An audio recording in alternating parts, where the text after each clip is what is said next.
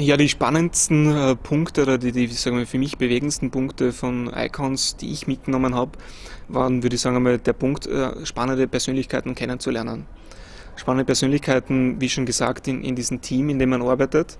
Äh, ein Team, das sich einfach zusammensetzt aus jungen Menschen, die extrem talentiert sind, die hohe Ansprüche an sich selbst haben, die hohe Ansprüche an ihre Arbeit haben, aber trotzdem so bodenständig sind und äh, zu denen man so einen leichten und guten Zugang findet, weil es einfach extrem sympathische Truppe ist, dass das sehr, sehr inspirierend ist.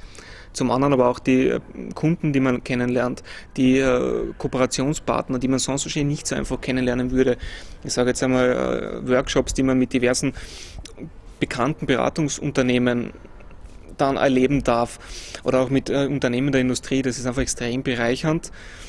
Ich würde so sagen, es ist ein bisschen auch die Work Hard, Play Hard Mentalität, also diese Mischung aus privaten Spaß in diesem Freundeskreis, aber gleichzeitig auch in den anregenden Momenten, die man einfach miteinander verbringt, wo man sich gemeinsam weiterentwickelt. Das waren so die Punkte, die mir sicher sehr, sehr geholfen haben und wo ich überzeugt bin, dass sie für jeden jungen Menschen, für jeden Studenten, der sich sozusagen auf seine Karriere vorbereitet, einen extremen Mehrwert bietet, wenn man sich gemeinsam pusht.